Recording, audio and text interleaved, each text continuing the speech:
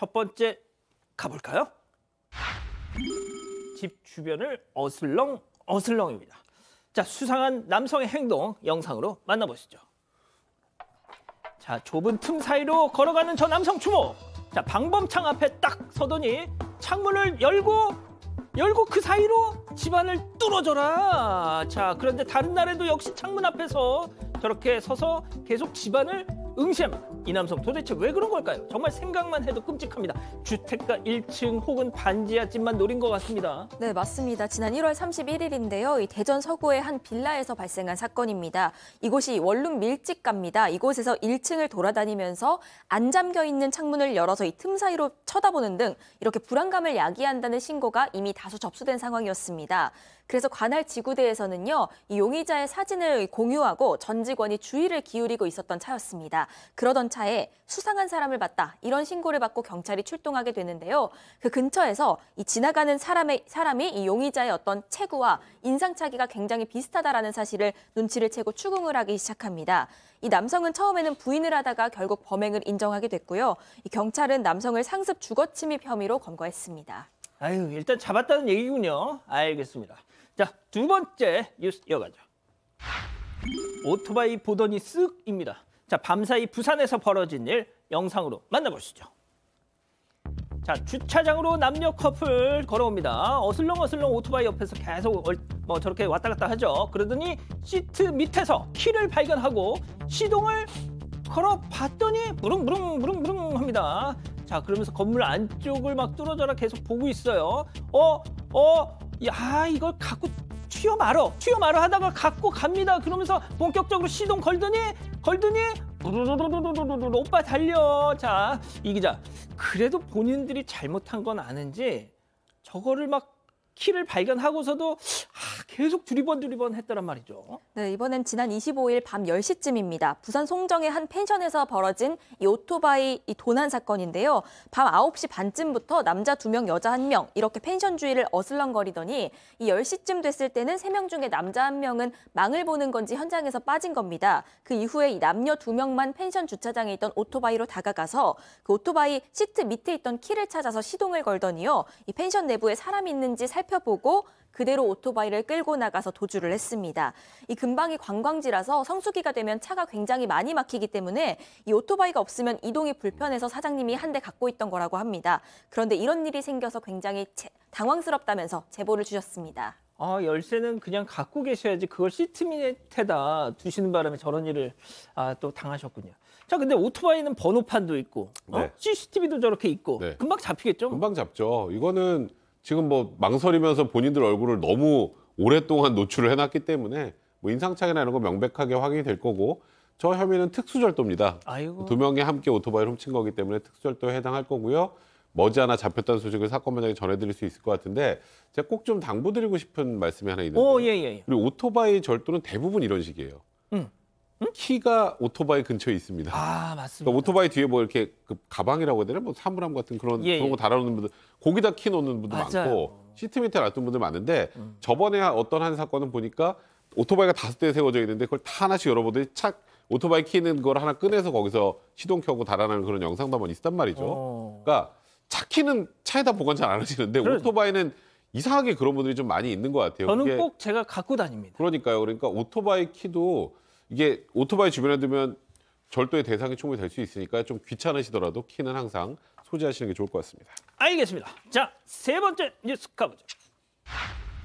예사롭지 않은 등장입니다. 자, 이것도 무슨 얘기일까요? 영상으로 만나보시죠. 자, 빨간불에 멈추는 블박차. 자, 횡단보도에 잠시 후에 사람들이 건너갑니다. 자, 그런데 킥보드가 한 대 등장할 텐데 왼쪽에서 어, 지금 몇 명이야 저거? 하나, 둘. 어? 저 앞에 뭐 있는 것 같은데? 자, 그렇습니다. 세 명입니다. 한 명은 쭈그려 앉아 있습니다. 왜 저러고 살아, 진짜? 어? 네, 블랙박스 차량이 신호 대기 중에요. 전동 킥보드 한 대에 여학생 세 명이 타고 횡단보도를 건너가는 걸 목격한 상황입니다. 심지어 탑, 탑승한 학생 중에 한 명은 저렇게 앞자리에 쭈그려 앉은 채로 주행을 하고 있습니다. 그리고 이들 모두가 헬멧을 착용하지 않고 있습니다. 여러 명이 전동 킥보드 타면 위험한데 이러다가 헬멧 없이 사고라도 나면 더 위험하겠죠. 이 전동 킥보드는 자전거 도로로 통행하는 게 원칙이고요. 있고요. 두 명이 넘는 사람이 타면 타다가 적발이 되면 범칙금 4만 원을 내야 하고 이 안전모 미착용 시 2만 원의 범칙금이 부과됩니다. 자, 그리고 횡단보도 지날 때 킥보드 끌고 가야 됩니다. 타면 안 돼요. 자, 또 다른 영상 만나보시죠. 자, 주차장에서 나가려고 하는데 한 여성이 뭔가를 들고 슬금슬금 이쪽으로 들어와요. 자, 그러더니 뭔가를 푹 던져요. 어? 그래서 파편이 확 튀었어. 어. 뭐야 이거? 하지만 본인은 어 안녕 하면서 그 유유히 또 자리를 뜹니다. 아 이게 무슨 상황이죠 이게? 진짜 황당한 상황인데요. 지금 이 블랙박스 차주가 카페에서 나와서 이제 주차장 나가려고 차에서 이제 주섬주섬 준비하고 있는데 지금 저 화면에 보이는 여성이 뭔가를 확 던진 거죠. 그러니까 퍽 소리가 나서 딱 보니까 지금 보니까 소주병이었습니다. 음. 그러니까 블랙박스를 이제 그래서 이제 돌려봐서 저희가 지금 저 영상을 보고 있는 건데 저 여성이 무슨 이유인지는 알 수 없어요. 그냥 저기다 퍽 하고 깨고 그리고 또 심지어 옆에 쓰레기통도 있었는데 쓰레기통에 안 버리고 저렇게 병을 바닥에 퍽 깨고 그냥 유유히 가버린 겁니다. 차에 저 소주병 파편은 튀기긴 했는데 흠집은 나지 않았다고 해요, 다행히. 근데 만약에 지금 저 차주가 저걸 모르고 후진이라도 하다가 저게 박히면 잘못하면 타이어에 펑크가 날 수도 그럼요, 있고 그럼요, 그럼요. 그리고 또 옆차도 혹시 모르고 그냥 갈까봐 옆차에 있는 주변에 있는 것 파편 다 치웠다고 하는데 아, 본인이 치우셨대요? 네. 아이고, 저게 세상에. 무슨 죄가 될까요? 저건 뭐 사실 자기가 소주병을 깬 거고 뭐 한 거니까 이게 딱히 뭐 죄가 형사상으로는 되지 않는데 경범죄 처벌법에 보면 물건 던지기 등 위험행위에 해당할 수 있습니다.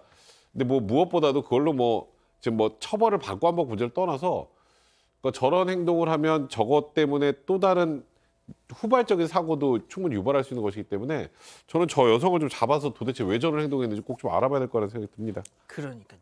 자, 다음 뉴스도 가보죠. 멋지다 연진아입니다. 아, 넷플릭스 드라마 더 글로리에서 학폭 가해자로 이 남다른 연기 보여줬던 본명보다는 극중 연진이라는 이름으로 더 유명해진 배우 임지연 씨. 뭐 지금도 계속 화제가 되고 있어요. 어제 뉴스룸 인터뷰. 자, 잠깐 보고 가시죠. 화가 나면 바로 표현하고 막, 뭐 이런 것들이 좀 시원하다라는 느낌이 들었던 건 사실인 것 같아요. 어. 근데 또 그만큼 오는 좀 아, 내가 이렇게 성질이 어. 안 좋았나? 맞아, 맞아, 맞아. 그런 얘기 하신 거 어, 이렇게 예민해졌나? 어. 워낙 소리를 많이 지르다 보니까 맞아, 목이 하루 종일 촬영하면서 이제 남아 있지가 않더라고요. 어. 어, 그 한 공간 안에서 담배를 계속 피다 보니까 어. 정말 나중에 목소리가 잘 안 나오더라고요. 가래도 맡기고. 네. 앞에 보면 되나요? 여기 네, 원 보시고. 멋지다 연진아. 브라보 박연진. 야 브라보. 아 가래가 그렇다는. 아 예. 예, 아, 죄송합니다. 자, 우리 또 저런 사연이 있었네요. 네, 어, 정말 전 국민을 다 사이다를 느끼게 했던 저 정말 드라마였는데요. 박연진 씨 정말 악역으로 나왔을 땐 악역이 너무 잘 맞았는데 저렇게 하얀 옷을 입고 앉아 있으니까 또 천사처럼 예쁜데 네 본인도 이렇게까지 뭐 전 국민이 사랑해 주셔서 너무 기쁘다 정말 기다리던 역이다라고 얘기를 했고요. 지금 친구들은 물론 집에서 엄마 아빠까지도 다 연진아라고 부르고 계신데요. 그만큼 응원해주고 이제 격려해주고 칭찬해주는 것 같습니다. 어, 본인은 왜 타고난 연기자가 아닐까라고 생각해서 정말 많이 속상했다고 울먹였고 또 그리고 그럼에도 불구하고 한 번도 연기를 그만두고 싶은 적이 없었다. 그래서 연기에 대한 깊은 사랑을 어, 전했고요. 마지막으로 어떤 연기자가 되고 싶냐라는 질문에 있어서는 정말 이 옷 저 옷 다 어울리는 모든 연기를 다 섭렵할 수 있는 연기자가 되고 싶다라는 욕심도 전했습니다. 그렇군요. 자, 이, 그, 이 녹, 인터뷰가 말이죠. 사전 녹화였습니다. 원래 저 임지연 씨가 지난주 금요일 날 회사에 왔거든요.